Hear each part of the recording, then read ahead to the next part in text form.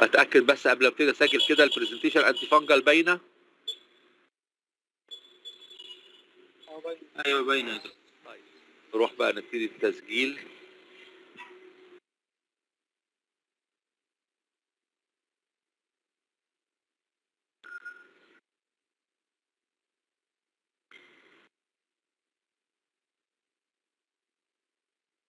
آه ال antifungal drugs آه رغم إن هي يعني مش واخدة حقها آه في التدريس لكن هي مهمة جدا لأن ال fungal infection very common ومن غير ما يكون عندي antifungal drugs ال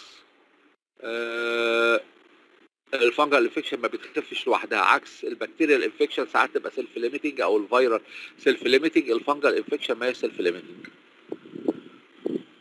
مفيش واحد فينا ما جالوش fungal infection قبل كده. وده سبب أهميتها. عدم الاهتمام بيها بيرجع إن إحنا دايما بندرسها في آخر حاجة في المنهج وبنبقى مستعجلين فبنكروتها. أنا مش هكروتها. أنا هديها حقها. إحنا عايزين نعرف إزاي ال antifungal drugs بتشتغل. كل member فيها بيشتغل إزاي.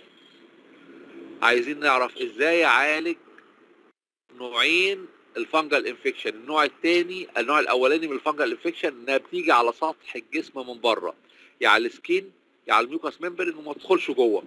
ودي الاصابات اللي اغلبنا اصيب بيها superficial fungal infection عندنا نوعين من ال superficial fungal infection نوعين كبار. ال dermatophytes الشهيرة باسم ال tinea. ودي غير ال taenia بتاعت ال parasitology. غير ال Taenia solium وال Taenia saginata. لا ده ال tinea سببها فطر اسمه ال dermatophyte. وال Candida albicans اللي هي ال candidiasis أو ال moniliasis. دول أشهر اتنين superficial fungal infection. لو ال fungal infection دخلت جوه الجسم في بعض ال fungal infection تدخل. ال dermatophytes ما بتدخلش. الكانديدا ساعات تدخل. وأنواع أخرى كمان غير الكانديدا. دي بقى اسمها deep fungal infection وال deep fungal infection علاجها من أصعب ما يكون وأحيانا كثيرة بتنتهي fatal يبقى عندنا الكانديدا ممكن تدخل بعد ما كانت superficial تبقى deep عندنا ال aspergillosis وعندنا ال coccidiomycosis طيب آه ليه تدخل جوه؟ عادة ال fungal infection ما بتدخلش جوه الجسم إلا لما تضعف المناعة. وأعتقد اغلبكم آه شاف في وسائل الميديا عن الفطر الأسود. حد سمع عن الفطر الأسود الجديد ده؟ أيوه. أيوه الفطر الأسود ده في الهند تسبب في وفاة آه، حاجة وثمانين ألف واحد. ليه الفطر الأسود انتشر في الهند؟ انتشر لضعف المناعة نتيجة الكوفيد infection ونتيجة علاج الكوفيد بالكورتيزونات. فده يديك فكرة إن الفطريات عادة safe وبتطلع على سطح الجلد. لكن إذا دخلت جوه الجسم بتبقى في منتهى الخطورة. طيب نبتدي نشوف بقى ال antifungal drugs اللي عندنا وهتشتغل إزاي. آدي جدار خلية ال fungus.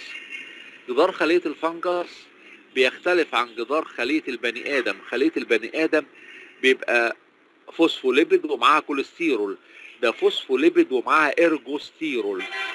وتم تصنيع ال ergosterol في ال sarcoplasmic reticulum ابتدى من الاسكوالين زي الكوليسترول بالظبط يبتدي من الاسكوالين ويتحول lanosterol ويتحول ل ergosterol تبقى inserted في ال cell membrane لو أنا عايز أموت خلية ال fungus أشوف دواء يمو... يمنع لي تصنيع ال ergosterol تاني حاجة في خليه ال fungus البروتينات بتاعتها بتتصنع بال nucleus.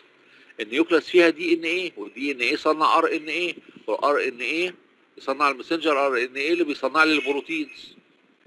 من الحاجات اللي بتتصنع ال microtubules اللي هي tubulin proteins اللي بتستخدمه الخلية في الانقسام.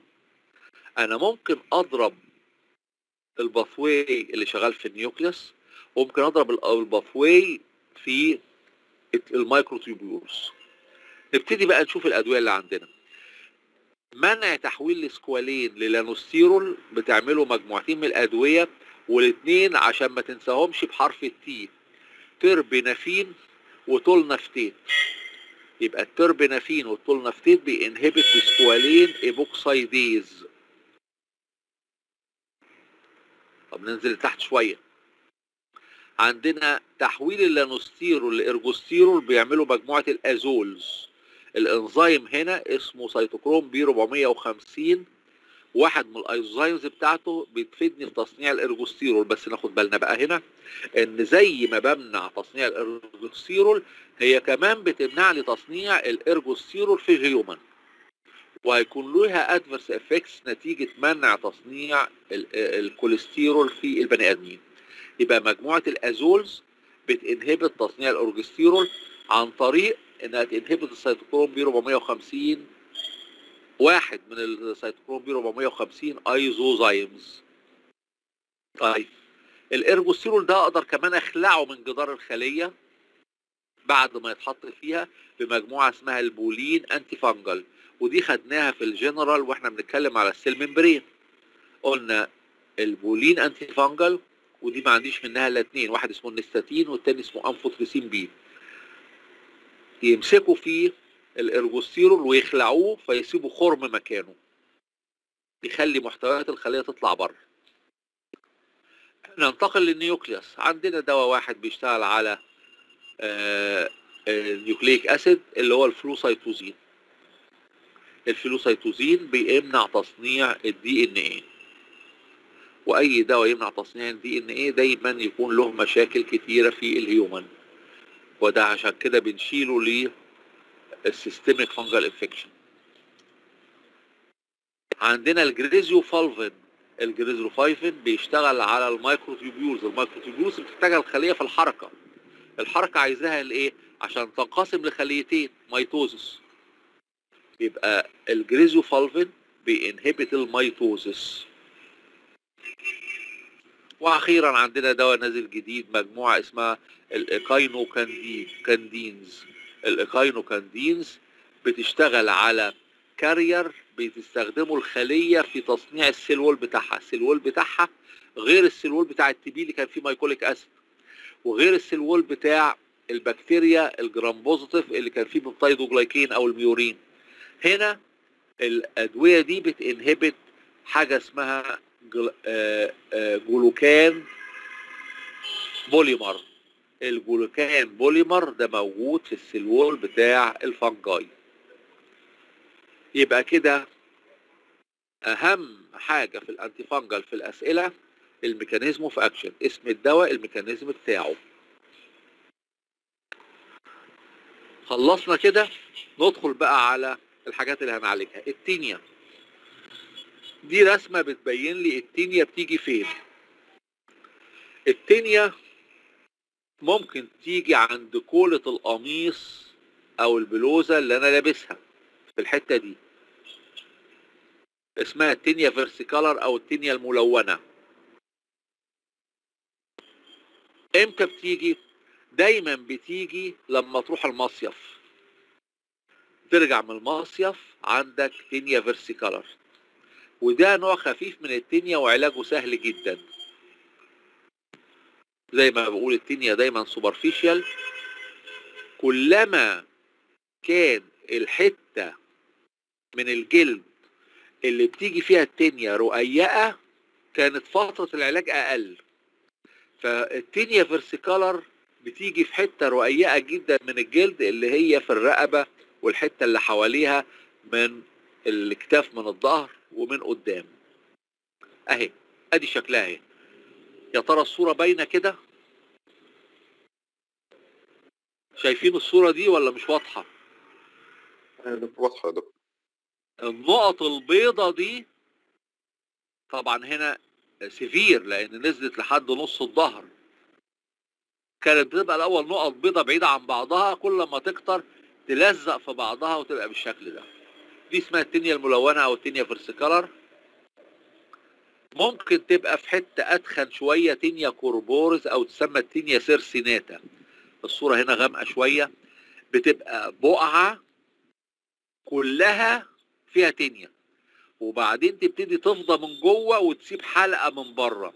عشان كده بتتسمى التنية الحلقية أو التنية السيرسيناتا ما بين الفخدين الحتة اللي مليانة عرق دي الفطر دايما يتواجد في الأماكن المبلولة اللي فيها عرق. ليه؟ لأن الفطر ده نبات وله جذور بتبقى مغروزة في الجلد. لو جت في المكان ده اسمها ال tinea cruris شايفين؟ الحتت اللي فيها احتكاك ما بين الفخدين دي اسمها ال tinea cruris. تيجي بين صوابع الرجل ولما بتيجي من صوابع الرجل اسمها ال tinea pedis وبتيجي بين الصباع الثالث والرابع دائما لأن دول أكتر صباعين في الرجل لازقين في بعض. ممكن تمد كمان بين الرابع والخامس لكن شايفين هنا مادة لتحت شوية. هنا لكن المكان الرئيسي بين صباع الرجل الثالث والرابع. دي اسمها التينيا بيدز نطلع لفوق. ممكن كل دول جايين في الجلد. فترة العلاج بتاعتهم ثلاث أسابيع لأن الجلد هنا ما هواش جلد تخين. لكن لو جت في شعر الراس يبقى اسمها tinea capitis. الحتة دي فيها tinea. تلاقيها كأنها حتة وسخة كده من الشعر والشعر يقع فيها. وإذا وقع الشعر فيها صعب إنه يرجع لأن بتموت جذر الشعرة. دي اسمها tinea capitis. وساعات تلاقي الحتت اللي فيها شعر لسه ما وقعش في نقط سودا فيها اهي. ده العيان ده غسل راسه كويس. ولكن النقط السوداء دي بتقول إن الشعر هنا لسه ما ماتش لكن الشعر في الحتة دي مات. tinea capitis يعني جت في فروة الراس ودي دايما بتيجي عند الأطفال اللي عايشين في الأرياف اللي الطفل ما بيستحماش بالثلاث لأربع أشهر. دي تاخد ست أسابيع من العلاج. لأن جلد شعر الراس أو ال scalp تخين نيجي بقى عند الضوافر تبقى اسمها onychomycosis ال onychomycosis طبعا هنا الضفر تخين جدا. وفترة العلاج هنا هتطول ل 12 أسبوع. آدي أنواع ال tinea وادي مدد العلاج ناقص نقول هنختار إيه من الأدوية اللي إحنا قلناها. هنسيبها بعد ما ناخد ال candida. ال candida كمان بتيجي في أماكن مشابهة. زي ما قلت الفطر ما يجيش إلا في الأماكن المبلولة. فممكن تيجي في ال wet skin bends. تنايات الجلد تحت البطن في الستات تحت ال breast. أو ما بين الفخذين الكانديدا عادة superficial لكن لو المناعة ضعيفة تدخل جوه الجسم. آدي مكان ال tinea في البق. oral. ال tinea في البق تبان زي ما يكون الواحد واكل جبنة وما مضمضش بقه. متى تحدث ال tinea في ال mucous membrane بتاع ال mouth؟ بتحدث ال tinea في ال mucous membrane بتاع ال mouth في طفل صغير سخن خد broad spectrum antibiotic لمدة أسبوع بعد الأسبوع يجيله secondary infection بال candida أي واحد سخن لفترة طويلة وخد مضاد حيوي broad spectrum دور في بقه هتلاقي فيه tinea جت. خاصة لو مناعته ضعيفة. الستات تجي لها التينيا في ال vagina تنزل إفرازات بيضة من ال vagina. إمتى تيجي التينيا في الستات بالشكل ده؟ نفس الفكرة. واحدة ست خدت آه، مضاد حيوي broad spectrum لمدة أسبوع. بعدها لازم الطبيب يدور على تينيا في ال vagina. من غير ما يسألها.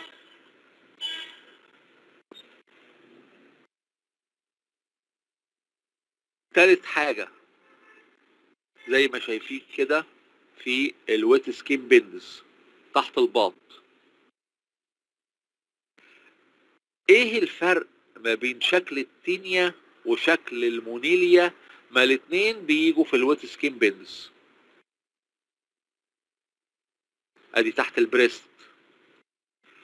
ادي ما بين الفخذين ما تشبه التينيا هي بين الفخذين قال لك ال- المونيليا أو الكانديدا بيبقى حواليها satellite lesion. تبص تلاقي نقط نقط حمراء تانية طالعة بعيدة. تجمع وتضم ليها ويطلع مكانها نقط تانية أبعد. ال satellite lesion دي تقول إن دي تينيا لأن دي كانديدا مش تينيا. الكانديدا التينيا بتبقى حتة واحدة. لكن الكانديدا بتبقى lesion رئيسي وحواليه satellites. ساعات اللي يجيله تينيا في بقه ويبلعها تنزل على ال esophagus وهنا تبتدي تدخل في مرحلة الخطر. وبرضه يمكن تكونوا قريتوا عن في ناس جالهم الفطر الأبيض في الهند. الفطر الأبيض اللي هو آسف الكانديدا الكانديدا هي الفطر الأبيض. عشان كده اتسمت albicans. albican يعني أبيض. بعد ما جالهم ال- الكوفيد وخدوا علاج بالكورتيزون جالهم الفطر الأبيض ولما بينزل على الاسوفيجاس يخلي العيان ما يعرفش يبلع ولا يعرف ياكل. ينزل على الإنتستين يجيب له إسهال.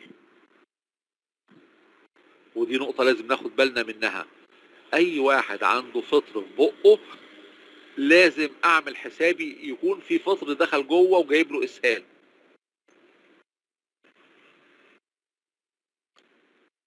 كده خلصنا أنواع الأمراض.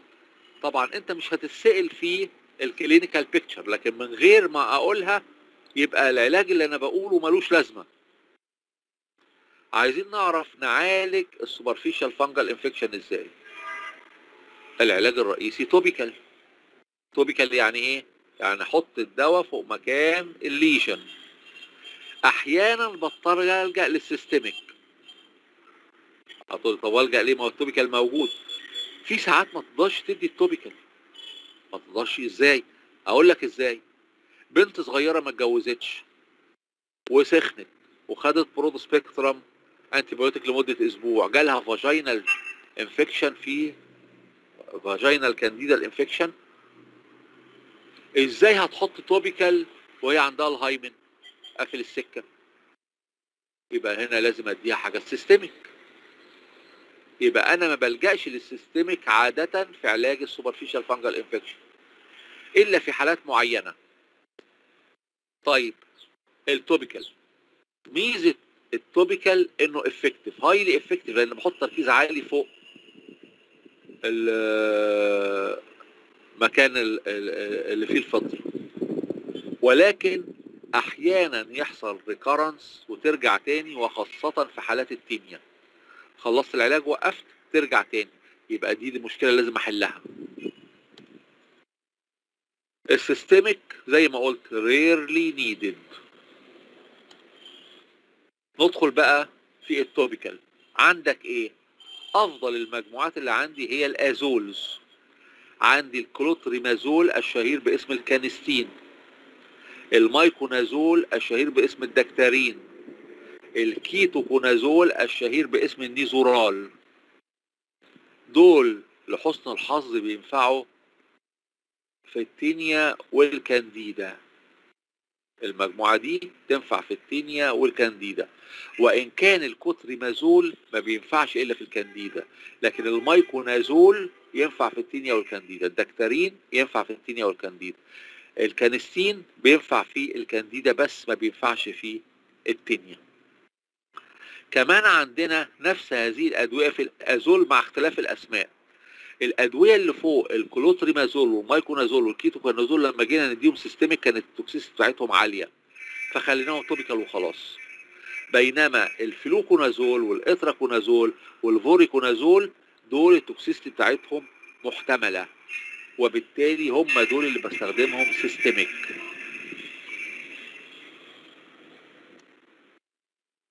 في منهم حاجات تنفع للتينيا وفي منهم حاجات تنفع للكانديدا لكن بينفعوا للاتنين. لو جيت تعديهم في ال tinea بيتاخدوا جرعة كل أسبوع. ال tinea بيحصل فيها recurrence لو جيت أديهم في الكانديدا بيتاخدوا جرعة واحدة. يبقى ال fluconazole وال itraconazole وال voriconazole دول مجموعة azoles. ال azoles فيهم اتنين subgroup مش مهم لكن المهم تعرف إن ال azoles safe لل systemic. لو عايز تديهم لواحد عنده كانديدا جرعة واحدة وخلاص. واحد عنده tinea هتكررها كل أسبوع لحد ما تخف.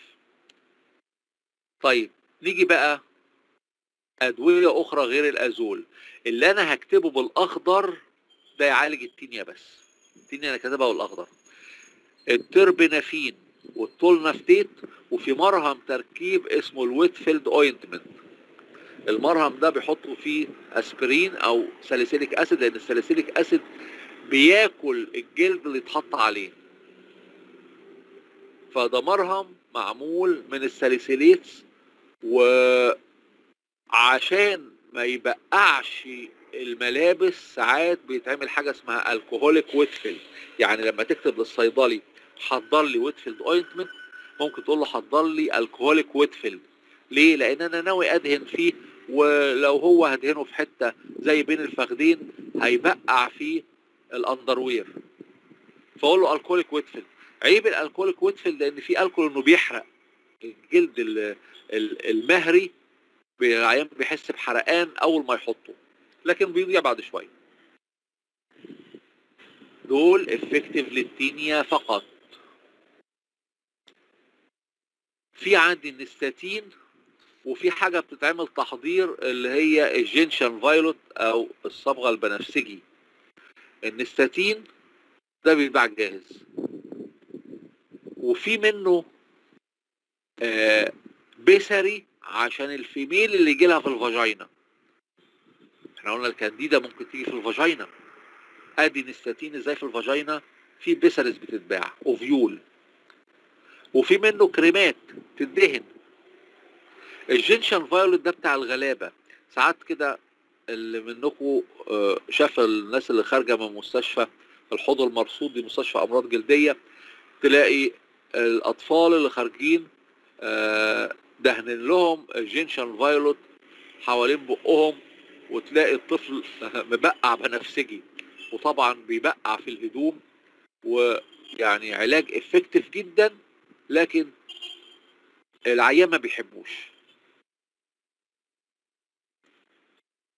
دول effective لل candida فقط.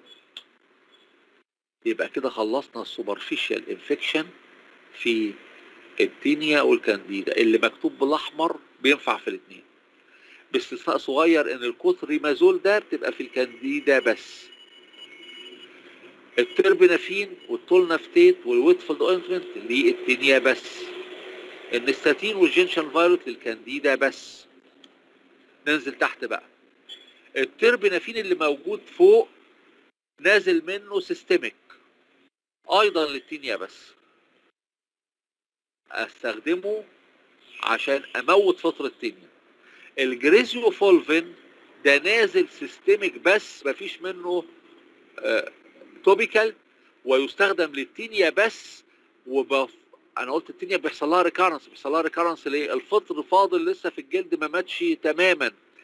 فبدي دواء ال griseofulvin ثلاث أشهر بعد ما عالج ال tinea بعلاج ال superficial عالجتها وخفت ادي griseofulvin ثلاث أشهر. ليه؟ لأن ال griseofulvin بيتركز في جذر الشعر. بيتركز في الجلد في ال dermis. فيقيها من إن يجي لها infection مرة تانية لمدة 3 أشهر لحد الفطر اللي فيها ما يموت. يبقى ال griseofulvin أنا ما بستخدموش عشان أموت الفطر. أنا بستخدمه عشان أمنع ال recurrence في ال tinea فقط. يبقى معنى كده إن علاج ال tinea بعد ما بعالجها ب superficial العيان بياخد 3 أشهر griseofulvin؟ أيوه.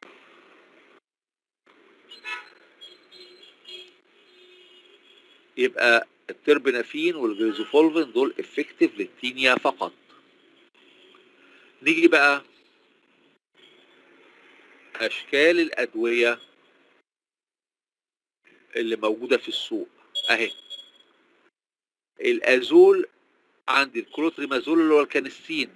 ده بتاع شركة باير بتنتجه دلوقتي شركة اسكندرية لكن بنفس شكل العلبة. وده قلنا ده للكانديدا بس. الدكتارين كلنا شفناه وفي منه أشكال كتيرة. النيزورال ده نازل شامبو للشعر. يمكن كتير بيستخدموه لعلاج قشر الشعر من البنات. أول ما نزل نزلوه oral وتسبب في toxicity عالية. واتشال ال oral بتاعه. التربنافين والويتفيلد أوينتمنت. الويتفيلد التربنافين اللي هو اللاميزيل بتاع شركة فايزر وال Whitfield ointment ده عادة بيتحضر ما بنلاقوش الجاهز ده مش موجود في السوق. ال nystatin وال gentian violet ال nystatin منزلينه الاطفال في شكل شراب كده تاخد بالقطارة وتحطه في بق الطفل. الطفل يمصمص ويبلعه. ليه يبلعه؟ عشان غالبا الكانديدا بتنزل من بقه وتنزل على ال intestine وتجيب له إسهال. ال gentian violet ده بيتحضر أيضا. زيه زي ال Whitfield oil يبقى كده خلصنا علاج ال superficial fungal infection سواء كنت هتدي العلاج topical أو هتديه systemic قلنا ال systemic إحنا بنحتاج له في حاجتين اتنين. عادة ال tinea infection بعد ما تخف بدي griseoful بثلاث أسابيع عشان ما يحصلش recurrence وال candida infection لو جاية في مكان مش accessible لل topical زي ال vagina في virgin تاخد قرص واحد بياخدوه من ال systemic هنشوف شكل الأقراص ال systemic أهي. ال Diflucan معلش ده بيجري كده. ال Diflucan ده اللي هو الفلوكونازول. العلبة ما فيهاش إلا قرص واحد. ليه؟ عشان الكانديدا بتعالج بقرص. طب وإذا كان عايزه في ال tinea كل أسبوع يشتري علبة. وادي ال voriconazole. وادي ال itraconazole.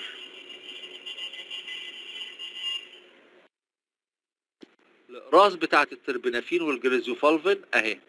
ال Lamisil نفسه نازل إقراص وال griseofulvin ده موجود مصري. نازل إقراص. وفي نقطة مهمة في ال griseofulvin العيان ياكله بعد fatty diet لأن ال absorption بتاعه بيتحسن جدا لو الأكل فيه دهون. كده خلصنا ال superficial fungal infection ال deep fungal infection بقى الخطيرة. عندي مجموعة ال azole ممكن أستخدمها. ال imidazoles دي بطلت كانت toxicity عالية اللي هي زي اللي قلنا ال Nizoral ده اللي هو الكيتوكونازول. ال triazoles أفضل اللي هي الجداد. وعندي دواء وحيد اسمه ال amphotericin B وده أحسن واحد لل deep fungal infection بس بيتاخد بال intravenous infusion بيتنقط في الوريد. وأحد أسباب انتشار الفطر الأسود في الهند إن ما عندهمش مخزون من ال amphotericin B. amphotericin B ده أخو ال nystatin polyene antifungal ال amphotericin B عادة بضيف معاه ال flucytosine. لو أنا خايف إن الفطر يدخل جوه ال brain ويعمل لي CNS infection ال flucytosine بيتاخد oral. ولا يؤخذ ال flucytosine لوحده لأن ال resistance بتطلع له بسرعة. يبقى ال amphotericin B ممكن آخده لوحده. وساعات أخده مع ال flucytosine الجديد بقى اللي هو ال caspofungin ده بيتاخد intravenous فقط وده للكانديدا فقط. ما بينفعش في ال tinea. نيجي ال adverse effects بتاعت ال systemic. إحنا قلنا عيوب ال systemic antifungal adverse effects كتيرة. عايزين ال adverse effects بتاع ال- ال- الكيتوكونازول اللي اتلغى. اتلغى ال oral بتاعه. اتلغى ليه؟ بيعمل لي toxicity عالية. حل محله بقى ال triazole اللي هي ال fluconazole وال itraconazole وال voriconazole. الأولاني ده كان highly hepatotoxic. أوحش حاجة فيه خلاته يتلغي ال toxicity على ال liver. ومش بس ال toxicity على ال liver كان كمان بي inhibit الإنزيم ال cytochrome P450 oxidase ال liver بيعمل بيه metabolism لل drugs. مش بيعمل بيه metabolism لل drugs بس ده كمان بيصنع بيه الكوليسترول والكوليسترول أنا بحتاجه في تصنيع ال steroids ال steroid hormone اللي في الجسم بتاعي. فال inhibition بتاع ال cytochrome P450 oxidase كان بيعمل لي drug interaction هذا الدواء enzyme inhibitor يبقى الأدوية اللي بتتاخد معاه مش هتتكسر. آدي أمثلة الادويه اللي كانت ما بتتكسرش وأدت إلى وفاة المريض. العيان لو بياخد oral anticoagulant وما كسرش زي ال warfarin العيان يجي له نزيف. العيان لو بياخد astemizole أو terfenadine دول من ال second generation antihistaminic كانوا بيستخدموا زمان في علاج أي دور برد تدي فيه antihistaminic بعض ال anti زي ال astemizole وال terfenadine كانوا ما بيكسروش ودول بيعملوا ventricular tachycardia تلاقي ال QT interval في رسم القلب طولت ويتبعها إن القلب يسرع ويدخل في fatal ventricular tachycardia يبقى serious drug الاستيرويد وانت عايز الاستيرويد في إيه؟ لا أنا عايز الاستيرويد الراجل والست الهرمونات بتاعة السكس هرمون استيرويد التستوستيرون استيرويد الإستروجين والبروجسترون استيرويد يبقى في ال males لو ما لقاش التستوستيرون يكبر حجم ال breast عنده gynecomastia ويجي له infertility ما يخلفش. وتقل الرغبة الجنسية عنده decrease ال sexual desire أو decrease ال libido ال female تتلخبط الدورة الشهرية بتاعتها. هذه هي أسباب إن الكيتوكونازول أو النيزورال الاقراص مش موجود في السوق. كان زمان بيتباع شريط 10 اقراص اتلغى. النيزورال اللي موجود في السوق هو النيزورال الشامبو اللي بستخدمه في الإصابات الفطرية ال superficial في شعر الرأس. طب ال triazole لا الحمد لله ال hepatotoxicity بتاعتهم أقل ولكنهم irritant. لما بيتاخدوا oral يجيبوا GIT upset يعني يجيبوا شوية nausea لما أحقنهم يعملوا التهاب في الوريد thrombophlebitis وبعدين في adverse effects بتختلف من دواء للتاني. drug specific adverse effects الفلوكونازول بيوقع الشعر. بص كلهم خطاطه بحرف ال A fluconazole يوقع الشعر alopecia ال itraconazole يعمل لي salt water retention aldosterone like زي ال زي ال mineralocorticoid هرمون ال voriconazole بيعمل abnormal vision بيأثر على النظر. وكده يبقى خلصنا مجموعة ال azoles سواء كان اسمها آه triazoles أو imidazoles نيجي بقى ال amphotericin B ده دواء لوحده يتحفظ لوحده لأن ال adverse effects بتاعته آه ما, ما تقدرش تخمنها. لأنه بيتاخد بال infusion يبقى هنشوف لو ما نديه بال infusion إيه اللي ممكن يجرى. تاني حاجة لأنه بينزل في الكلى فهيعمل لي adverse effects تخص الكلى. ال infusion. لو عملت له infusion سريع شوية العيان يحصل stimulation لل vomiting center ويجي له nausea و vomiting وبعدين في أحد أنواع الحساسية اللي بتحصل معاه يسخن العيان ويجي له رعشة. ولهذا السبب أدي علاج الحساسية قبل ما أديه من الأول. أدي antihistaminic عشان الحساسية. وأدي اسيتامينوفين عشان العيان هيسخن مني.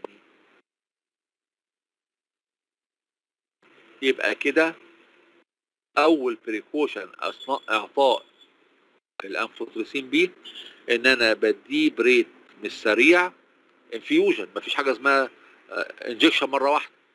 وتاني حاجة أدي premedication ب antihistaminic مع اسيتامينوفين لما يدخل في الوريد ساعات يهري الوريد ويجيب لي phlebitis يبقى لما أجي أعمل له infusion أختار وريد كبير. ليه وريد كبير؟ لأن في دم كتير.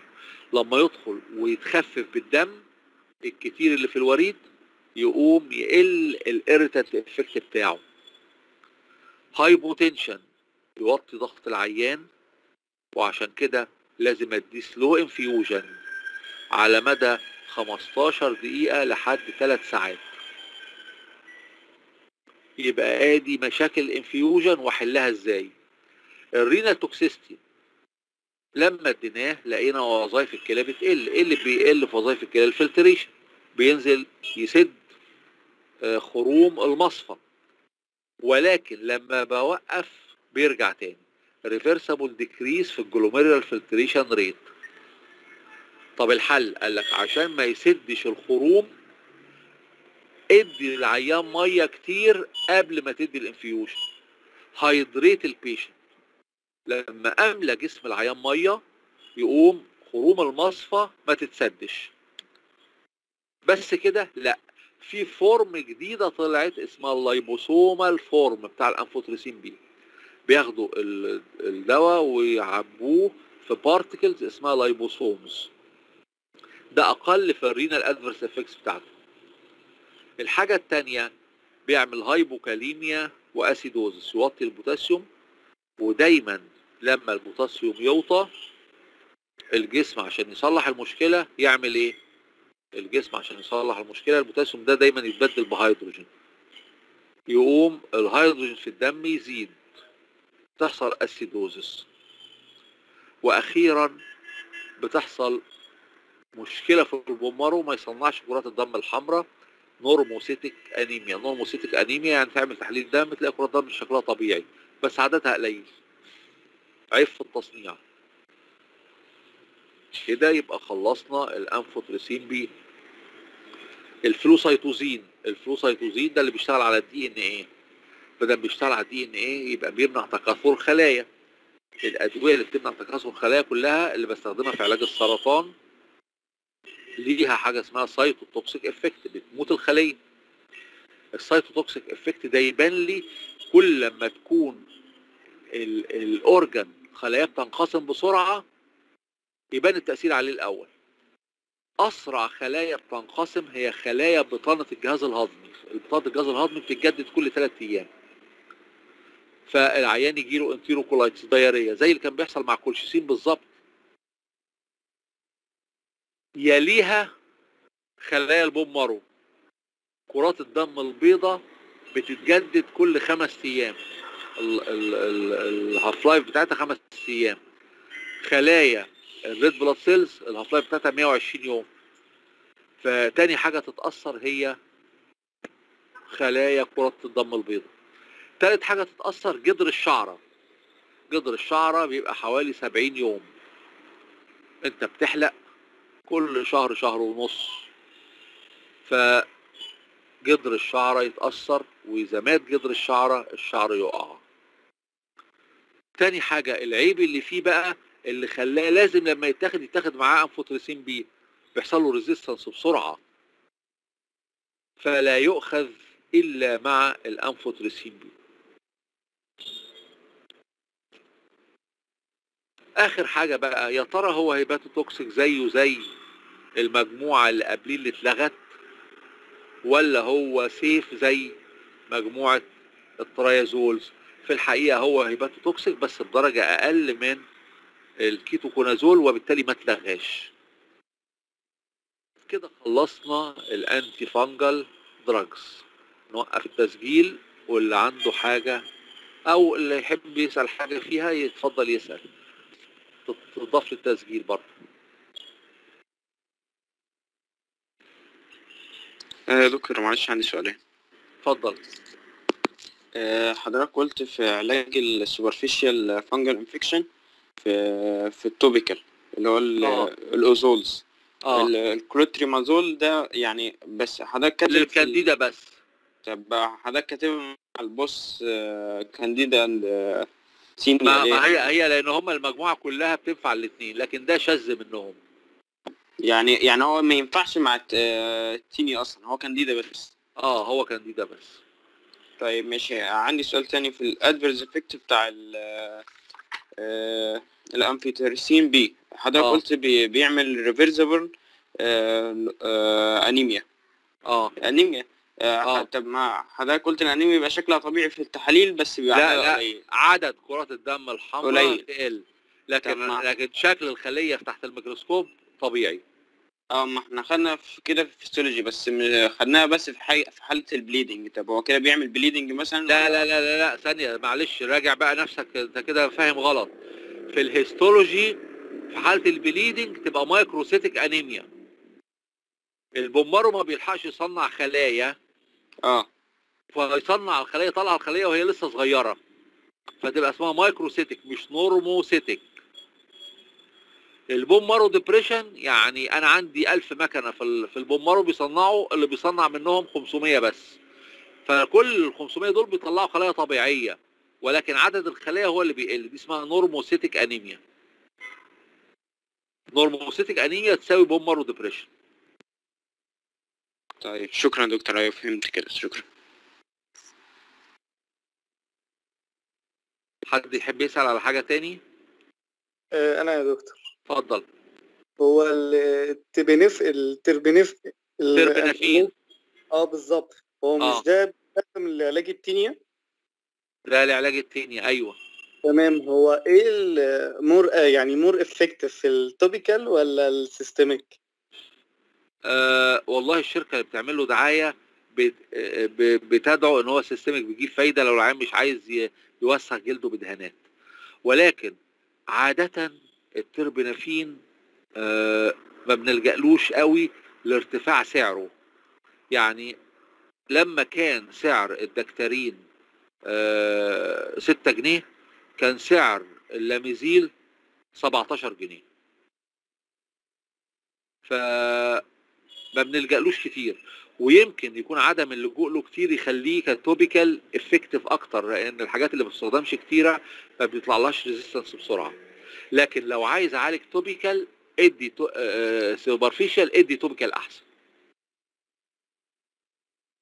آه طب تمام يا دكتور. أصل أنا قلت مثلا لو هي ك systemic أفضل ف لا لا هي هي هي. في ناس ما بترضاش تاخد الدهانات. تمام يا دكتور شكرا. دكتور ال griseofulvin آه، بنديها بعد علاج ال tinea وال candida الاثنين لمدة ثلاث شهور؟ لا لا بعد علاج ال tinea بس. ما بينفعش في الكانديدا. في الكانديدا ما فيهاش recurrence عشان تدي griseofulvin ال recurrence يبقى في ال tinea. وبتتاخد كل يوم؟ بيتاخد قرص بعد كل أكلة لمدة ثلاث أشهر. عشان كده العلبة كان شكلها مليانة اقراص العلبه يجيب 100 قرص.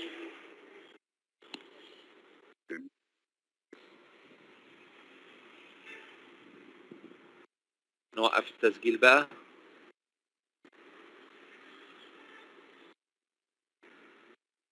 ونروح نجيب آه دلوقتي أنا عايز أعرف حاجة. أنتوا خدتوا الملاريا في البارة ولا لسه؟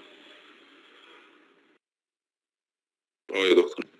طيب. أيوه خدنا يبقى يبقى نقدر ندي الانتي ملاريال دي نقفلها كده. ونروح ندور على الانتي ملاريال آه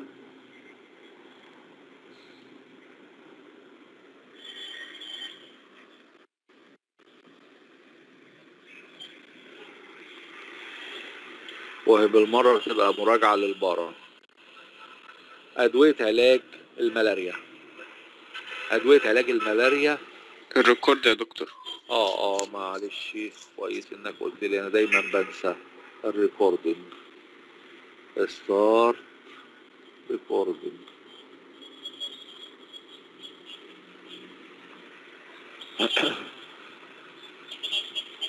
ابتدى أدوية علاج الملاريا عديمة الأهمية تقريبا في مصر لأن مصر مش من البلاد اللي فيها ملاريا.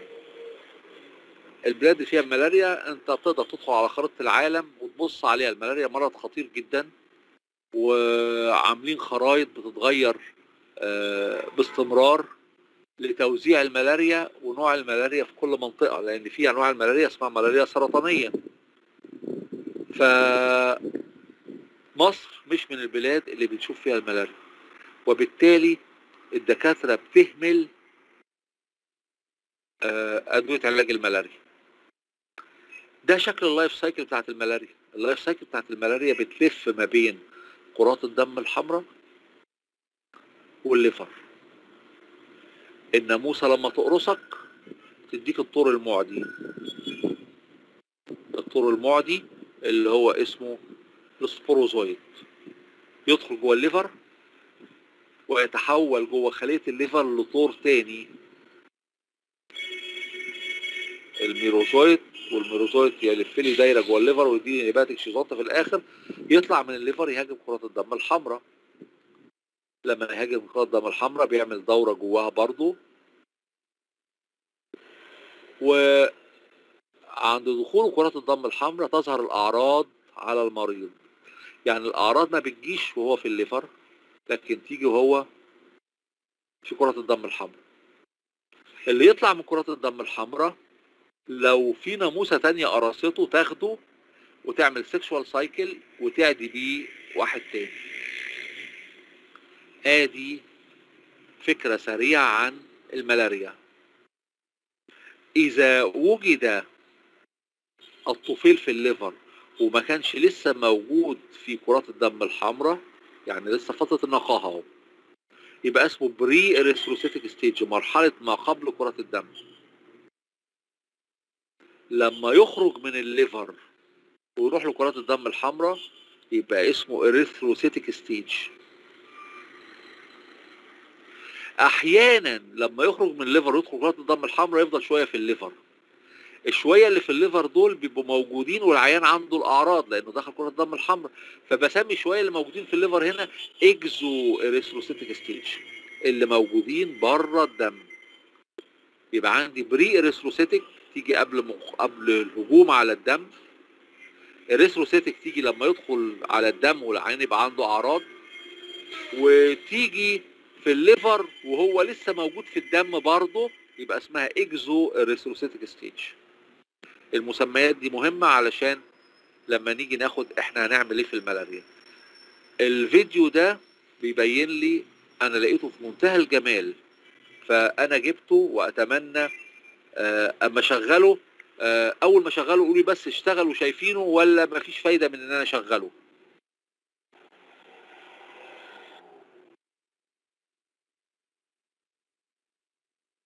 مش شغال. مش شغال؟ ثانية واحدة أي. بقى. يعني مش شايف ولا سامع؟ لا هو لونه أسود لا. بس. طب ثانية واحدة اما يدخل في صورة هو لسه لونه أسود.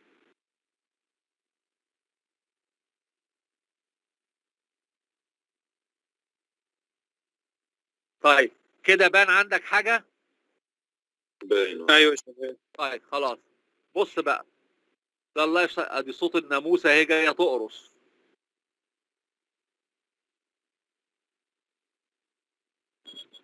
شايف إن ادي الناموسة اهي هتقرص الشخص اهي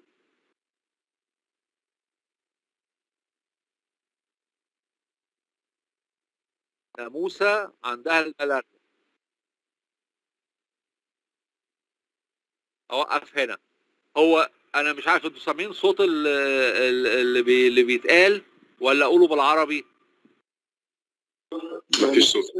طيب هو بيقول لك اللي بتقرصك هي الناموسة ال female الحامل.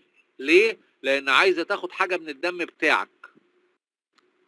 عايزة تاخد الكالسيوم من الدم بتاعك فبتقرصك عشان تاخد الدم. والناموسة الحامل بتعرفها معرفش بالبره قالوا لكم ولا لأ وهي واقفة على الحيطة. لو بصيت عليها تلاقي جسمها مايل بزاوية حادة على الحيطة لأن بطنها تقيلة عليها لأنها حامل. فالناموسه هتقرصك. نشغل بقى.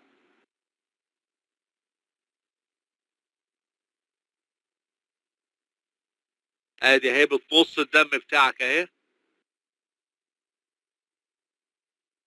وبتديك الصلايفة بتاعتها عشان دمك ما يتجلطش. وقف كده. هو بيقول لك لما بتحقن لك الصلايفة عشان توقف تجلط الدم عشان تعرف تشربه هي الصلايفة بتاعتها فيها البرازيت اهي. شايف البرازيت ده؟ ده هو السبوروزويت اهو.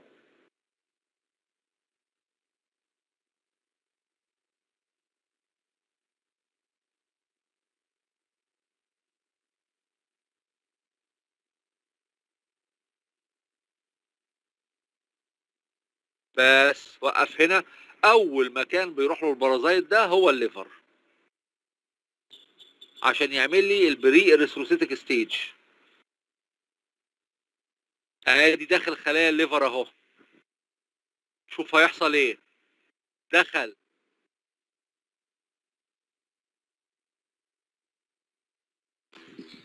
عادي ما فيهاش حاجة.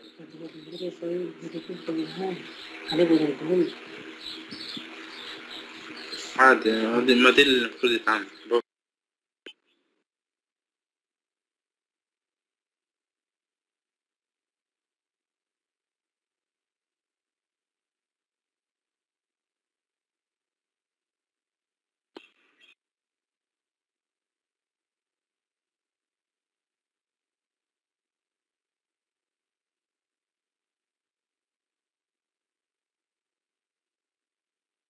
شايف ال parasite بيتكاثر.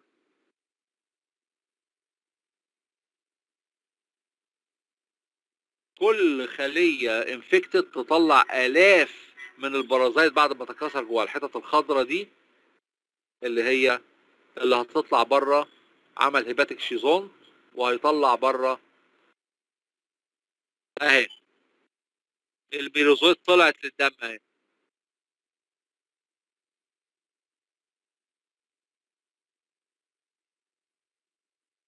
راحت على كرات الدم الحمراء.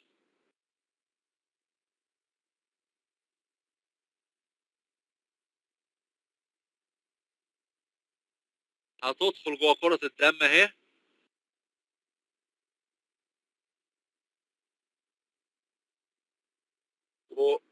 وجوه كرات الدم الحمراء الجسم ما يطولهاش بقى المناعة مش مش طايلاها.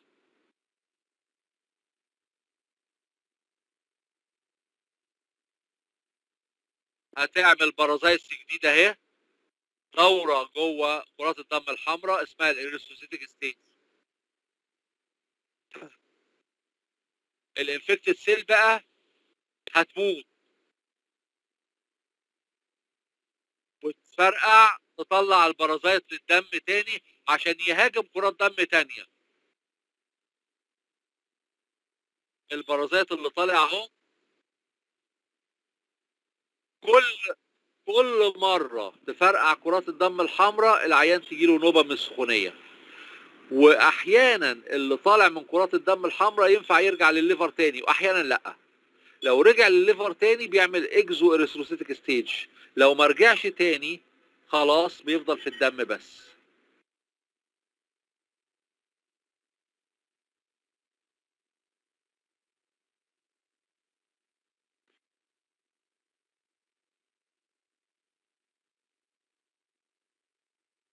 هو بيقول لك الملاريا في الآخر بتؤدي إلى الوفاة وأغلب اللي بيموتوا منها هم الأطفال أو الستات الحوامل. كده خلصنا. ناخد بقى الكلام اللي إحنا شفناه ونكبره ونشوف إيه اللي حصل.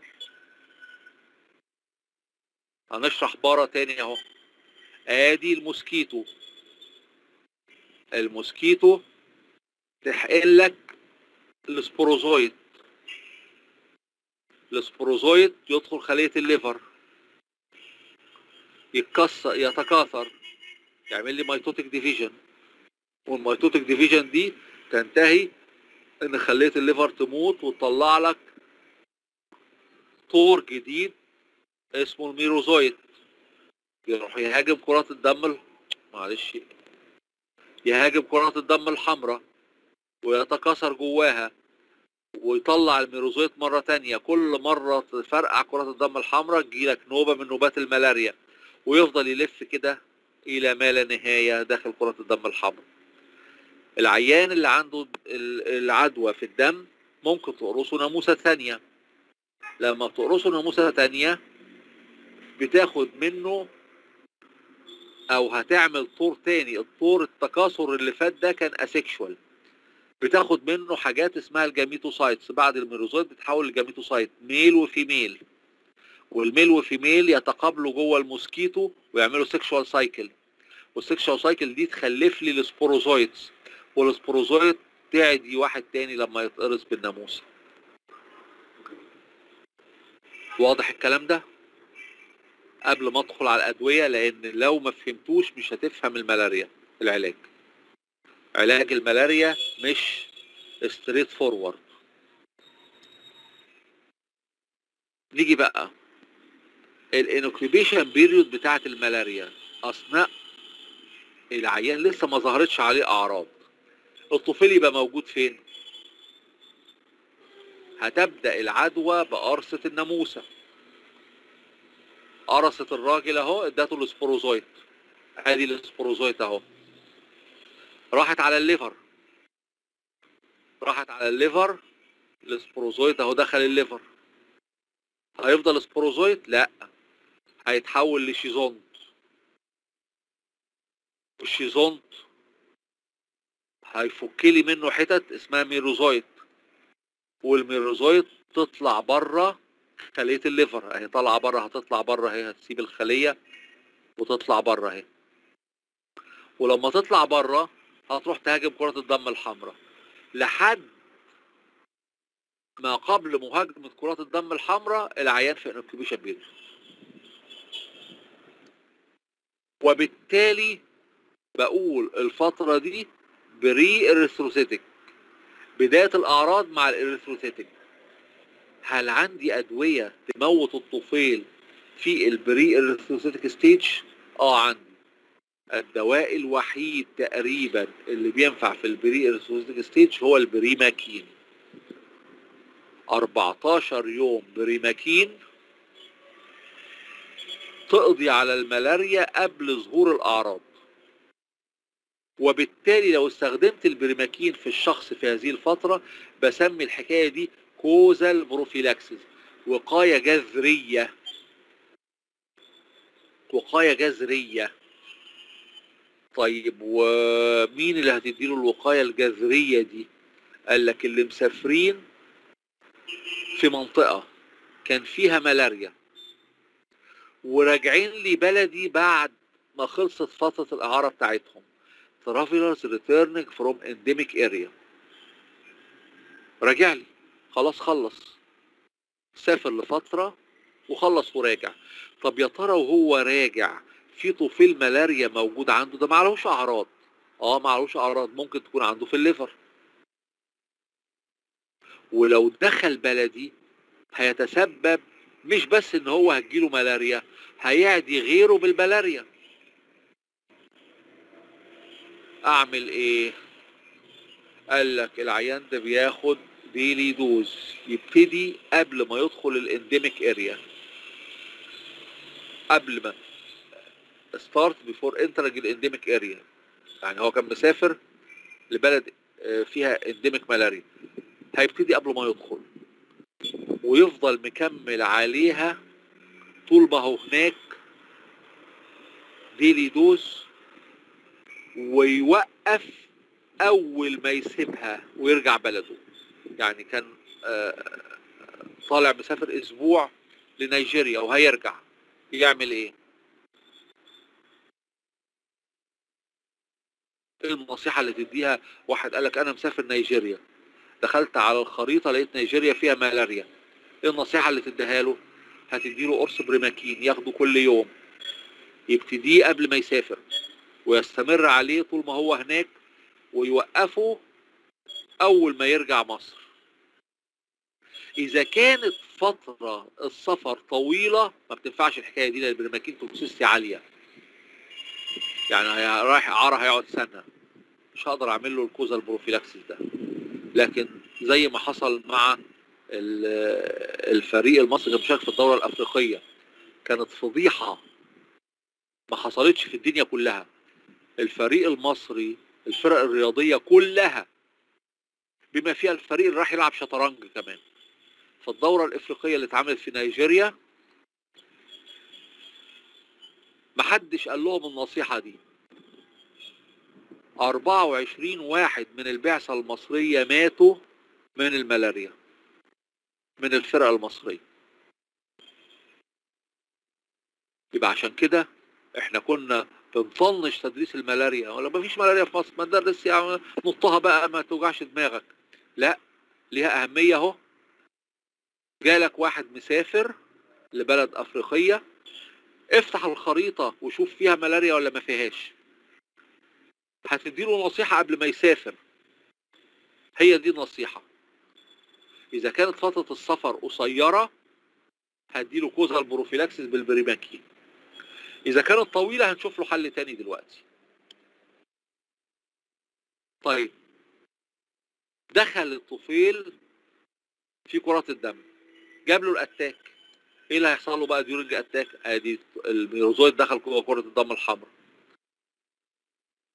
بيتحول لحاجة اسمها ال ring stage. خدتوها في ال para أكيد. وبعدين يتحول لحاجة اسمها trophozoite. النشيط اللي بيتغذى على. وبعدين يتكاثر ويعمل لي ال schizont. وبعدين ال schizont يديني ال merozoite وال merozoite يطلع مرة تانية عشان يهاجم كرة دم تانية أو يرجع للل liver.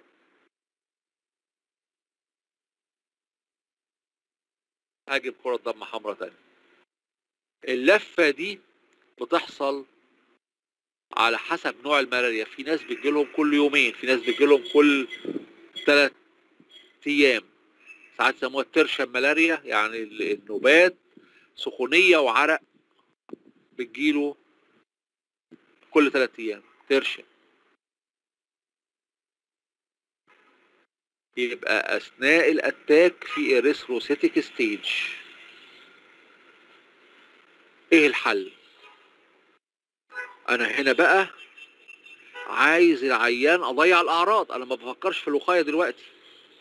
هياخد quinoline drugs ال primaquine واحد من ال quinolines. لا البريماكين ما بينفعش في ال erythrocytic ال primaquine بيتركز في ال liver بس وبالتالي ما بينفعش إلا في ال hepatocytic stage فهديله أي واحد من ال quinoline drugs ده هيموت له الطفيل اللي جوه كرات الدم يبقى ده اسمه clinical cure طلع عندنا أربع أنواع من الطفيل بتاع الملاريا. طفيل الملاريا اسمه بلازموديوم. واحد اسمه Plasmodium vivax واحد اسمه Plasmodium ovale واحد اسمه Plasmodium malariae والرابع اسمه ال Plasmodium falciparum لو أنا موتت الطفيل في ال Plasmodium vivax وال Plasmodium ovale وال Plasmodium malariae العيان هتضيع من عنده الأعراض. العيان بياخد course على مدى 3 أيام. 10 مللي جرام 10 مللي جرام جرام في اليوم الأولاني واليوم الثاني وبعدين 5 مللي جرام في اليوم الثالث تضيع عنه الأعراض. السؤال يا ترى خف ومش هترجع له الملاريا تاني؟ قال لك هذا يتوقف على الطفيل كان موجود في ال liver ساعتها ولا مش موجود؟ لو الطفيل موجود في ال liver يبقى هترجع له الملاريا مرة تانية بعد شوية. وال cure اللي انت عملته له ده اسمه clinical cure خففت الأعراض بس العيان ما خفش تماما. ويستدعي انك بعد ما تعمل clinical cure تديله حاجة تموت الطفيل اللي في ال liver primaquine course 14 يوم. يبقى ال clinical cure يتبعه course primaquine. إمتى؟ لو كان في طفيل في ال liver. لو ما فيش طفيل في ال liver يبقى ده radical cure هذا يستدعي أنك تعرف مين اللي بيبقى عنده طفيل قاعد في ال liver ومين اللي مش عنده من أنواع الملاريا. هنقولها. طيب افرض العيان اللي أنا قلت لك عليه في المرة اللي فاتت كان مسافر لبلد أفريقية وهيقعد بعثة طويلة ومش هقدر أديله البريماكين للوقاية. أعمل إيه؟ قال لك هديله suppressive prophylaxis هديله دواء. يموت الطفيل وهو جاي داخل كرات الدم الحمراء بحيث ما تظهرش عليه الأعراض. خالص. يبقى ده prophylaxis. ولكن الطفيل قاعد شغال في ال liver. قاعد يطلع له كل شوية. يبقى ال prophylaxis هنا مش زي ال prophylaxis بتاع ال primaquine. ال primaquine كان على الطفيل. هنا مش هيقضي على الطفيل. هنا هسيب ال liver شغال. وه suppress ظهور الأعراض يبقى ده اسمه suppressive prophylaxis اللي عنده Plasmodium vivax أو ovale أو malariae بياخد قرص واحد من الأدوية ال quinoline related drugs يبتدي قبل ما يسافر ال endemic area ويفضل طول ما هو هناك ياخده ويستمر لحد ما يرجع بلده أربع أسابيع. والله قرص واحد في الأسبوع مش مشكلة. هياخد قرص كلوروكين مرة في الأسبوع ابتدى قبل ما يسافر وطول ما هو قاعد فترة الإعارة لمدة سنة بياخده رجع بلده هيفضل ياخده برضه لمدة أربع أسابيع لحد ما يكون الطفيل اتقضى عليه. وهذا النوع من ال prophylaxis اسمه suppressive prophylaxis ويستحسن إنه بعد ما يرجع بلده يروح واخد course ال primaquine بقى ل 14 يوم عشان أقضي على الموجود في ال liver. مش هيفضل suppressive بقى هو في بلده. خلاص.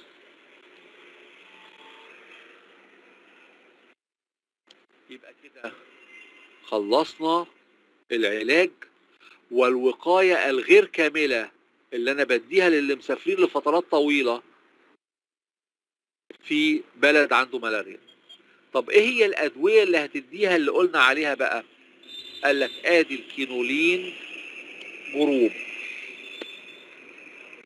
في ممكن أحط لها substitution عند رقم أربعة وعند رقم ثمانية دي كربون هبتدي أعد من النيتروجين دي.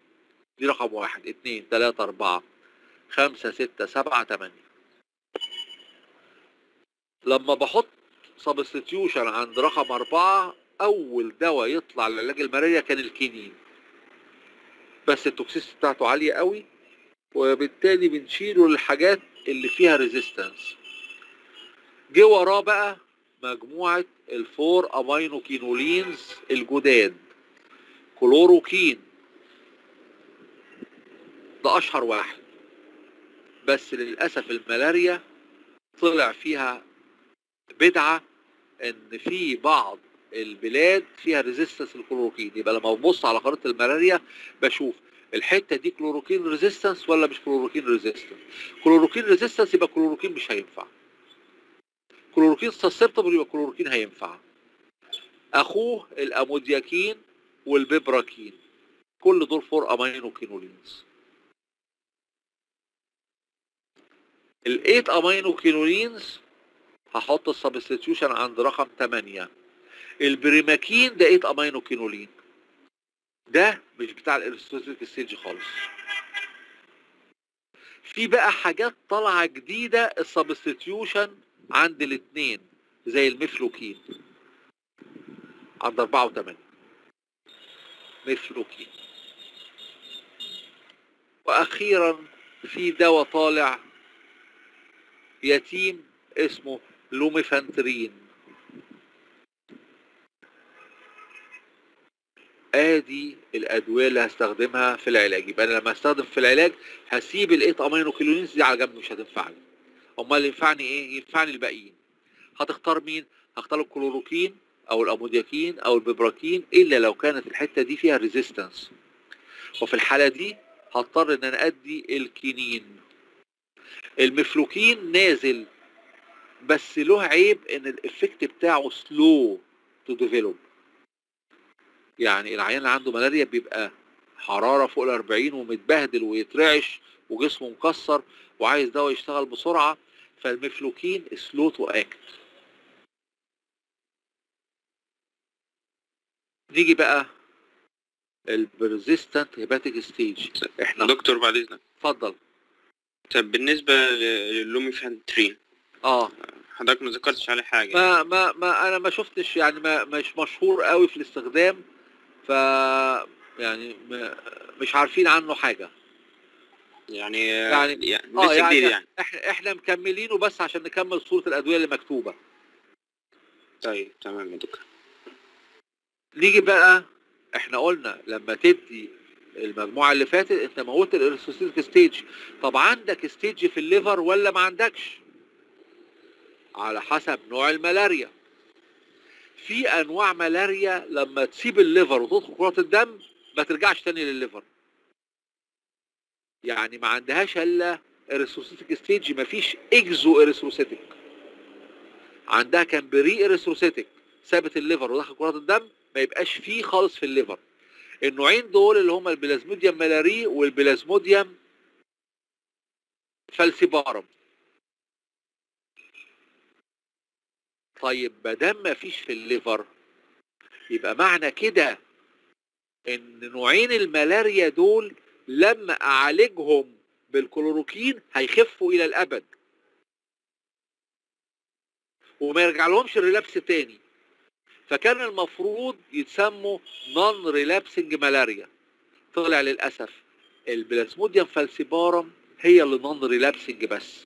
بينما ال Plasmodium malariae بيحصل لها relapse ويقال إن الطفيل بيفضل في كرات الدم ويعيد ال infection مرة تانية. حتى بعد ما تموته. فال Plasmodium malariae ما فيهاش في ال liver بعد يدخل كرات الدم بس يحصل لها relapse ساعات. ال Plasmodium falciparum اللي هي الملاريا السرطانية non-relapsing ساب ال liver ما يرجع لهاش تاني. ال non-relapsing malaria اللي ما فيهاش infection في ال liver مش محتاج أعمل لها حاجة تاني خلاص. لكن لو كان ال merozoite اللي طلع رجع بعد ما هاجم كرات الدم الحمراء. هاجم ال liver وفضل في ال liver وبيعمل لي دورة شغالة في ال liver بينما هو موجود في كرات الدم الحمراء. يبقى موجود في مكانين. موجود erythrocytic وموجود exo-erythrocytic ال erythrocytic أنا بموتها بالعلاج اللي خدناه في ال slide اللي قبلها العيان خفت الأعراض.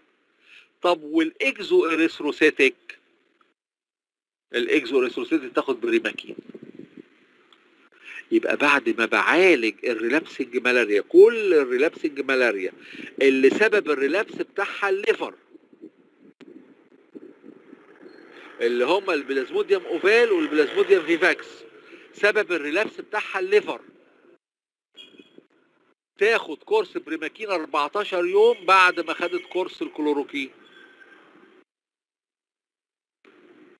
طب ال relapsing malaria اللي سبب ال relapse بتاعها مش ال liver residual erythrocytic stage اللي هو ال Plasmodium malariae لا دي ما تاخدش. ما تستفدش بالبريماكين يبقى ال Plasmodium ovale وال Plasmodium vivax ياخدوا course primaquine بعد course chloroquine. خد course chloroquine 3 أيام. خفت. ياخد course primaquine 14 يوم عشان ما ترجعلوش تاني. ودمته اللي عنده ملاريا سرطانية الملاريا سرطانية هياخد course يخففه. وبعدها بس مش في الملاريا السرطانية عادة بتبقى chloroquine resistance هنقول هنديها إيه؟ إذا كانت الملاريا سرطانية هدي الدواء يموتها ويخفف الأعراض واللي هيخفف الأعراض ده مش هيعمل لي بقى clinical cure هيعمل لي radical cure ومش محتاج بريماكين وراه ال radical cure عشان يحصل في ال Plasmodium vivax وال Plasmodium ovale تدي الكلوروكين 3 أيام وراه بريماكين 14 يوم. الكلوروكين 3 أيام يعمل لي clinical cure primaquine 14 يوم يقلب لي ال clinical cure يبقى radical cure طيب نيجي بقى. ساعات أنا أحتاج الأدوية لغرض تاني خالص للتخلص من الملاريا في منطقة ما. ده ال WHO بتعمله اسمه eradication program عشان أتخلص من الملاريا. فكرنا مين اللي بيجيب عدوى الملاريا؟ ال mosquito. يا ترى أنت قادر تموت ال mosquito في المكان اللي فيه الملاريا؟ لا مانيش قادر. طب ما تنفعش تدي دواء تموت الطفيل بتاع ال mosquito؟ الله. هو أنا هشرب ال mosquito الدواء لا أنا مش هشرب ال mosquito الدواء أنا هدي الدواء للبني آدم وال mosquito لما تقرصه تاخد الدواء معاها. ال mosquito رايحة تقرص العيان عشان تاخد منه ال... هي ال mosquito كانت بتعمل إيه؟ بتاخد منه ال merozoite تعمل منه gametes male gametes و female gamete تجمعهم مع بعض تعمل sporozoite يا ترى عندك حاجة تموت الطفيل اللي موجود في ال mosquito اللي هو ال gametes أو ال sporozoite عندي. عندي إيه بقى؟ ال sexual cycle هعمل لها أدوية اسمها gametocidal gametocidal gametocidal يعني تقتل ال gametes. طلع ال primaquine gametocidal بيموت كل أنواع الملاريا. الكلوروكين غلبان ما بيموتش إلا ال vivax وال malariae يبقى البريماكين هو الأحسن. إذا كنت عايز تعمل eradication program في منطقة كل الناس في المنطقة دي هتاخد هذا الدواء مع إن مفيش أعراض عليهم. هنقول هياخدوه إزاي؟ طب ما عندكش حاجة تموت ال sporozoites sporontocide sporontocides عندي. البريماكين برضو.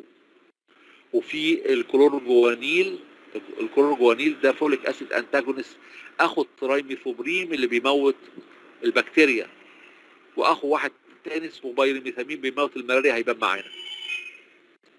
جميل. إيه اللي بتعمله بقى؟ قال لك عايز تمنع ال transmission.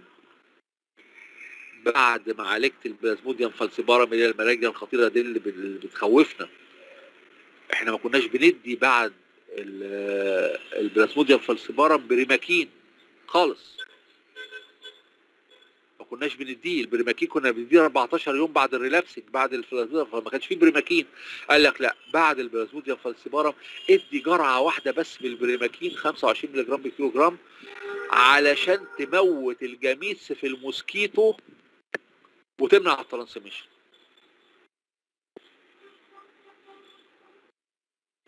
لكن الأنواع التانية أنا أصلا بدي بريماكين فيها. خلاص مش محتاج أدي حاجة تمنع ال transmission. بعد ال plasmodium vivax وال plasmodium ovale أنا بدي بريماكين 14 يوم عشان أعمل radical cure. ده هيمنع لي ال transmission. اللي ما كنتش بدي فيه البريماكين هو مين؟ هو ال plasmodium falciparum مش هندي 14 يوم. جرعة واحدة بس. طيب بدل ما إحنا تايهين كده في الملاريا مفيش أدوية تموت كل أنواع الملاريا من غير ما أفكر. ده فالسيبارم ولا ده أوفال ولا ده ملاري؟ الصين عملت لنا هذه المجموعة من الأدوية. الأدوية الصينية اللي فضل مهدوم حقها لفترة طويلة. هم كل حاجة جاية من الصين يقول لك لا لا لا ده ده ده بضاعة صيني تبقى وحشة. من أفضل أدوية علاج الملاريا اللي ما بتلاقيهاش في آه، آه، آه، يعني الدول اللي ماشية ورا أوروبا في العلاج ال artemisinin. مادة جاية من نبات خدوه وصنعوا منها أدوية. بقى الأدوية دي اسمها artemisinin related drugs وتؤخذ مع أدوية أخرى فبقى في حاجة اسمها artemisinin combination therapy ال ACT أدي أمثلة. في ال artemether مع ال lu- ال lumefantrine اللي كان بيسعى على ال lumefantrine أهو. شايفين كده؟ حاطين لك على حسب وزن الجسم بياخد من قرص لاربع اقراص يبقى لو واحد ادلت هياخد الأربع اقراص دول. وراهم الأربع اقراص دول. وراهم الأربع اقراص دول. وراهم الأربع اقراص دول. وراهم الأربع اقراص دول. وراهم الأربع اقراص دول. بما إنه بياخد الأربع اقراص مرتين في اليوم يبقى الجرعة ثلاث أيام. طب لو واحد طفل ياخد قرص من المجموعة دي وهيرمي الباقيين وقرص من المجموعة دي وهيرمي الباقيين من كل مجموعة قرص. واحد سنه متوسط ياخد قرصين ثلاثة أربعة. فهم حطوا لك جرعة الأدلت في شريط واحد. ياخد أربع اقراص مرتين في اليوم لمدة ثلاث أيام. التاني أرتيزيونيت ومعاه الأمودياكين. هنا بقى هناك بص الصورة دي كان الدوايين محطوطين في قرص واحد. الدوايين في قرص واحد لكن هنا ما عرفوش يحطوا الدوايين في قرص واحد. فقرص من دول أرتيزيونيت والقرص التاني أمودياكين. قرص آه أرتيزيونيت وقرص أمودياكين. ياخد أربع اقراص الصبح واربع اقراص بالليل. أربع اقراص الصبح واربع اقراص بالليل. أربع اقراص الصبح واربع اقراص بالليل. ثلاث أيام. ال artesunate وال mefloquine.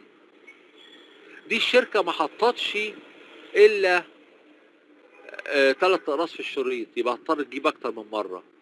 قرص artesunate وقرص mefloquine. قرص artesunate وقرص mefloquine.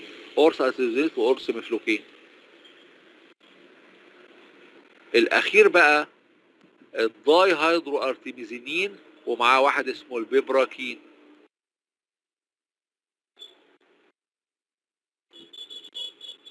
كل هذه الأدوية وآدي كمان واحد تاني ال artesunate ومعاه آه، ال sulfadoxine pyrimethamine. ال sulfadoxine pyrimethamine بيتاخد مرة واحدة بس. آه، راس Fansidar. زي ال Bactrim بتاع البكتيريا. 500 مللي جرام سلفا و25 مللي جرام folic acid antagonist اسمه pyrimethamine تتبلع الثلاث اقراص دول مرة واحدة. العيان أول ما بتجيله ال infection في منطقة فيها ملاريا ملاريا معودينه ابلع ثلاث اقراص Fansidar مرة واحدة. وهنكمل علاج بقى. artesunate قرص الاربع اقراص once daily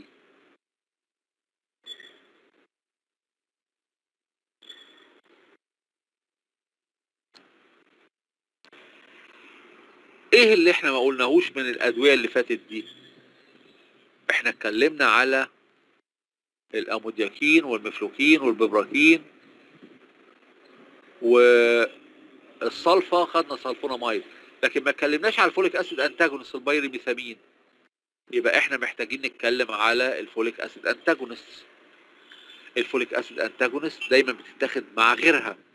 وإحنا هنجمع بقى هنا عندنا للملاريا sulfadoxine مع ال pyrimethamine اسمه Fansidar. وعندنا ال atovaquone مع ال proguanil. البكتيريا خدناها قبل كده. trimethoprim مع ال co-trimoxazole مع ال sulfamethoxazole بيديني ال co-trimoxazole وعندنا للسرطان الميثوتريكسيت. وهنا ده بيتاخد alone. يبقى ال folic acid antagonist عندي أدوية تمنع تصنيع ال folic acid فيه تمنع ال activation بتاع ال folic acid في الملاريا اللي هي ال pyrimethamine وال proguanil. وعندي أدوية تمنع ال activation بتاع ال folic acid في البكتيريا ال trimethoprim وعندي أدوية تمنع ال activation بتاع ال folic acid في خليه السرطان اسمه ميثوتريكسين. كل دول اسمهم folic acid antagonist. للملاريا بيتاخدوا مع الصلفه للبكتيريا بيتاخدوا مع الصلفه للسرطان بديه وعادة بدي علاج السرطان بيبقى ساعات ثلاث أربع أدوية. أدوية أخرى لعلاج السرطان معاه نيجي بقى اختيار العلاج. اختيار العلاج. أول حاجة Plasmodium falciparum مش complicated Plasmodium falciparum شنيعة. لما بتعمل complication بتاخد الكلى معاها. وكان في دكتور عندنا في قسم الفارما في عين شمس كان راح بعثة آه، أعتقد في نيجيريا وجاله الملاريا السرطانية ومات على الطيارة وهو راجع. عشان تعرف أهمية إنك تعرف علاج الملاريا وتاخد الوقاية قبل ما تروح. واحد جاله uncomplicated Plasmodium falciparum ياخد إيه؟ أحسن حاجة ال ACT ثلاث أيام. آدي أنواع ال ACT اللي إحنا قلناهم قبل كده كلهم. lumefantrine مع artemether. أنا مش عايزك تحفظ الأسماء كلها. أنا عارف تعرف إن في حاجة اسمها ACT combination therapy بيتاخد ثلاث أيام. من قرص لاربع راس مرة في اليوم أو مرتين في اليوم. الأخير بس بحط معاه فانسيدار اللي هو سلفا توكسين مع بايرميثامين مرة واحدة. يبلع ثلاث اقراص مرة واحدة ومعاهم بقى دول. لكن الباقيين بياخد أربع اقراص الصبح وبالليل. دول بياخد أربع اقراص مرة واحدة في اليوم. كل الباقي أربع اقراص مرة واحدة في اليوم. ثلاث أيام تنتهي ال Plasmodium falciparum طب ال Plasmodium vivax وال ovale وال malariae. قال لك عندك الحلول القديمة. وعندك الحلول الجديدة. إحنا ما كانش عندنا الحلول القديمة خالص للبلازموديوم آه، falciparum لكن القدام كان عندنا. قال لك انت في حل انك تستخدم الحل القديم اللي هو الكلوروكين لو عندك الملاريا chloroquine resistance تعرف منين ال chloroquine resistance من المنطقة اللي جات له فيها الملاريا من خريطة الملاريا في العالم. أو تستخدم ال ACT ده أو ده الاثنين يمشوا. طب لو chloroquine resistance مفيش إلا ال ACT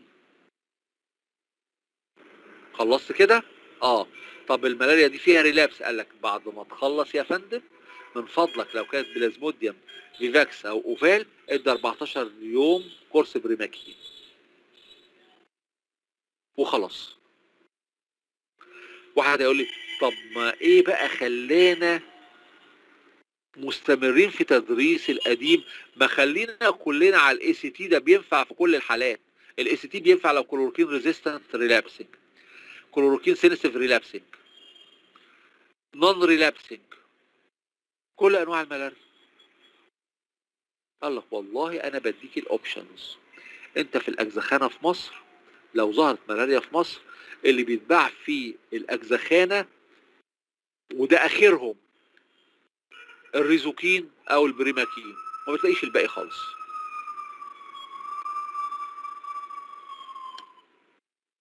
كده يبقى خلصنا البروتوكولات بتاع علاج الملاريا. عايزين نعرف بقى إيه ال mechanism of action بتاع دواء دواء منهم. مجموعة ال quinolines بت inhibit انزيم اسمه heme polymerase الانزيم ده بيخلي الملاريا تهضم ال heme الملاريا لما بتدخل كرة الدم الحمراء بتاكل بتتغذى على ال heme. لو ما هضمتوش تموت. ال heme لما يتكون جوه طفيل الملاريا ده toxic لل parasite يبقى ال quinolines كلهم بي inhibit الإنزيم اللي اسمه ال heme polymerase اللي الملاريا بتهضم بيه ال heme. ال artemisinin derivatives في الحقيقة ما احناش عارفين قوي. ولكن هو لقيناه بيمسك في ال heme iron لما يمسك في ال heme iron بيحصل إيه بعد كده؟ الله أعلم. لكن في قال لك احتمال لما يمسك في ال heme iron بيعمل release ل free radicals ال free radicals دي دايما حاجات تموت. إحنا متعودين لل free radicals إنها بتبقى oxygen free radicals لا ده بيعمل free radical ال center بتاعها ال active carbon فبي release free radicals ال free radical دي ال center ال active فيها كربون تموت الطفيل. ال anti-fol ال anti-fol بت inhibit ده خدناها بت inhibit الإنزيم اللي هو اللي بي activate ال folic acid ال dihydrofolate reductase وبالتالي ما يصنعش ال folic acid. أخيرا في بعض ال antibiotics زي ال atovaquone atovaquone ده بي inhibit الملاريا cytochrome b 1 c bc 1 complex وده بيؤدي إلى كولابس للميتوكوندريا الممبرين البوتنشال على كروس الممبرين اللي بيخليها عايشة آه، بيفقد فتموت. وده دواء يتيم ما عداش علينا إلا مرة واحدة. لما كنا بنحطه مع ال proguanil في بقى بعض المضادات الحيوية الأخرى ودي خدناها مع المضادات الحيوية ليها antimalarial effect ضعيف. أشهرهم ال sulfadoxine. وكده يبقى خلصنا الملاريا. اللي يحب يسأل في أي حاجة في الملاريا.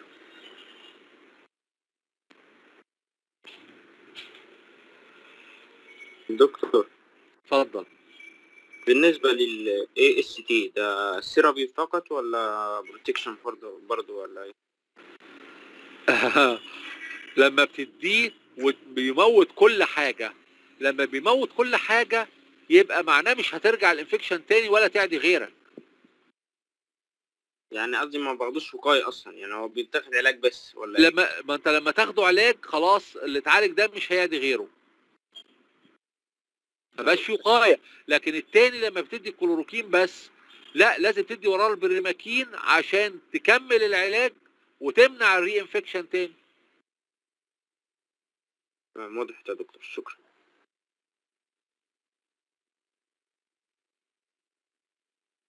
ها.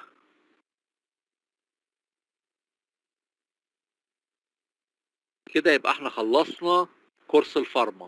ملكوش عندي دلوقتي إلا إن أنا أنزل لكم الأسئلة بتاعت ال special chemotherapy هعملها زي ما عملت في التانيين وهنزلها لكم. وهشوف الدكتور أحمد بسطاوي العملي المفروض مش تبعي العملي تبع الدكتوره ألاء. لكن أنا ما عنديش مشكلة إن الحاجة اللي هتقرر عليكم هحط لكم أسئلة العملي بتاعتي.